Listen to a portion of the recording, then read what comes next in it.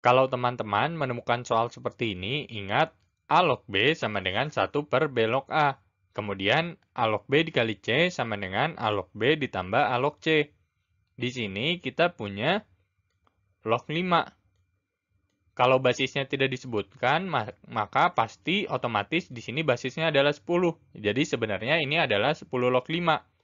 Kemudian dengan menggunakan sifat yang pertama ini, kita coba ubah menjadi 1 dibagi 5 log 10.